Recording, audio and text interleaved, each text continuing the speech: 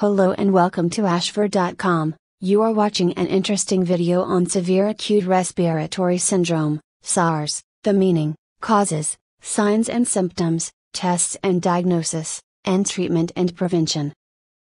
Please read this disclaimer carefully. According to a new study conducted by health economists at the University of East Anglia and the Centre for Diet and Activity Research in the UK, walking or cycling to work is better for people's mental health than driving.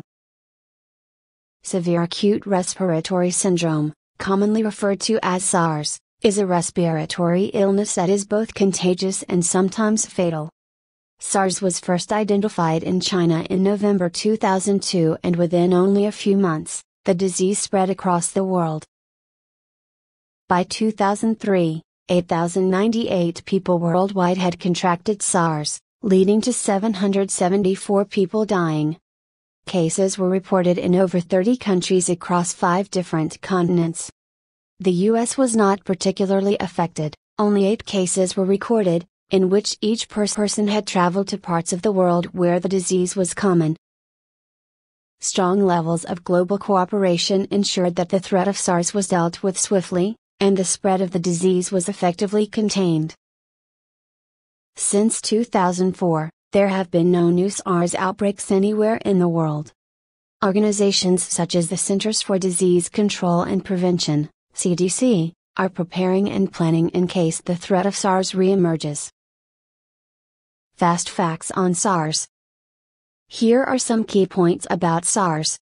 More detail and supporting information is in the main article. SARS belongs to the same family of viruses as the common cold. It is believed that SARS is spread through droplets in the air and close person to person contact. Normally, the symptoms of SARS develop within 2 7 days. Most patients that have SARS go on to develop pneumonia. Serious complications arising from SARS are most likely to affect people aged over 60 and people with other chronic illnesses such as diabetes or hepatitis. SARS is so rare that its diagnosis mainly depends on whether a person has an obvious history of exposure to the virus or not. The CDC recommends that people with SARS receive the same treatment as people with community acquired atypical pneumonia. If a person has SARS, then it is important that they limit their interactions with other people. People are encouraged to be careful with personal hygiene measures such as hand washing to reduce the risk of spreading the disease. There have been no recorded cases of SARS anywhere in the world since 2000. What is SARS? SARS is a disease caused by the SARS coronavirus, SARS-CoV Coronaviruses are a common form of virus that cause upper respiratory tract illnesses in the majority of cases. Three coronaviruses are the family of viruses that are responsible for the common cold. 4. SARS was first discovered in China in November 2002. There are six different kinds of coronavirus that can infect humans.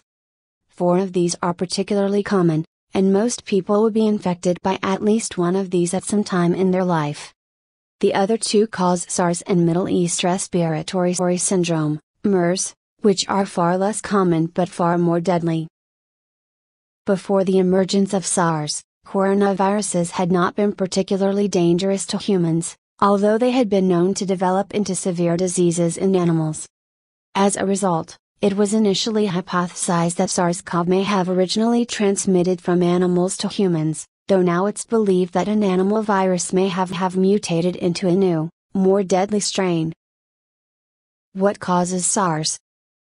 It is believed that SARS is spread through the air, via coughing and sneezing, or through close person to person contact. SARS-CoV is likely to be transmitted in respiratory droplets and be absorbed into the body through the mucous membranes of the mouth, nose and eyes. Examples of person-to-person contact includes the following, hugging and kissing someone sharing utensils for eating and drinking speaking to someone within 3 feet of them touching someone directly. The virus can be spread by respiratory droplets being left on objects used by other people, such as door handles, doorbells, and telephones, to be inadvertently picked up by someone else using the object. Recent developments on SARS causes. Strongest evidence to date that SARS originated from bats. Scientists have discovered that two new coronaviruses found in Chinese horseshoe bats are a close relative of the SARS coronavirus. This is according to a new study published in the journal Nature. Mammal viruses exceed 320,000, still undiscovered. Scientists say there are approximately 320,000 viruses present in mammals that are yet to be discovered, according to a study published in the journal MBio. Signs and symptoms of SARS. Following exposure to the virus, the symptoms of SARS tend to develop within 2 7 days. During the incubation period before SARS manifests itself, the disease is not contagious. Kid with high temperature. SARS typically begins with the onset of high fever. Most cases of SARS begin with a high fever, with the temperature exceeding 100.4 degrees Fahrenheit, 38 degrees Celsius. Other early symptoms include those common to flu, such as aches, chills, diarrhea, dry coughing, and shortness of breath. These will develop over the course of a week. Most patients go on to develop pneumonia, an infection of the lungs, which is the leading cause of death in children below the age of 5 worldwide. Serious complications such as respiratory failure, heart failure, and liver failure are also risk. These complications are more likely to afflict people over 60 years of age, and in particular those with pre existing comorbidities such as diabetes or hepatitis. 8. Tests and diagnosis of SARS. At present, there is no specific test that can be used to diagnose SARS quickly enough to be able to inform the patient's treatment. As a result, diagnosis of SARS currently depends on the observance of a patient's clinical and epidemiological features. The majority of patients who developed SARS previously had a clear history of exposure to people who had developed the disease or to places where transmission of the disease had been ongoing.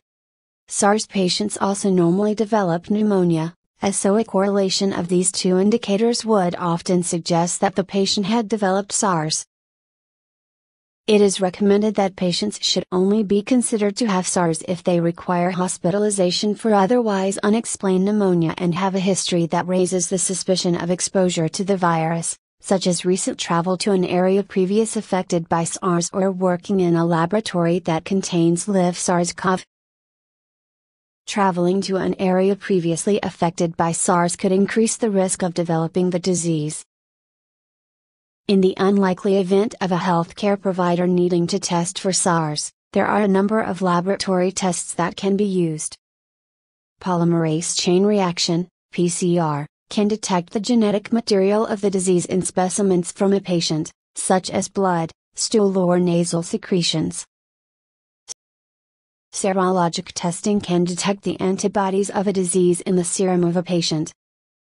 Viral culture and isolation involves taking a small sample of tissue or fluid that may be infected from a patient and placing it in a container with cells in to see if the virus.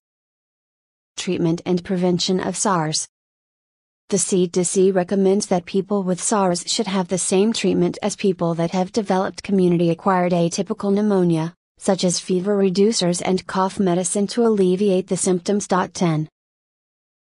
Washing hands is a key way of reducing the chances of passing on SARS. Simple prevention methods are the same as for other infectious diseases. The following examples of personal hygiene maintenance can help restrict the spread of the virus. Wash hands frequently, avoid touching eyes mouth or nose with unclean hands. Cover mouth and nose with a tissue when coughing or sneezing. Encourage others to do the same. Because SARS is contagious once its symptoms have developed, it is important that people with the disease limit their interactions with other people until 10 days after their symptoms have improved. SARS is at its most contagious during the second week of illness. Recent developments on SARS treatment. Enzyme discovery holds promise for SARS, MERS vaccine.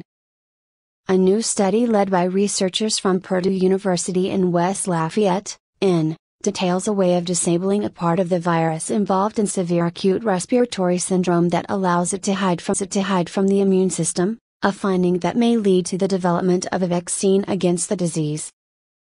Scientists identify compound that inhibits MERS and SARS. No specific drugs exist to work against coronaviruses, the pathogens behind severe acute respiratory syndrome and Middle East respiratory syndrome but research published in the journal PLOS Pathogens unveils a new coronavirus inhibitor. As stated previously, there haven't been any recorded cases of SARS anywhere in the world since 2004. Since this time, the CDC have been working with various organizations, federal, state and local, to plan and prepare a response should SARS reappear at any point in References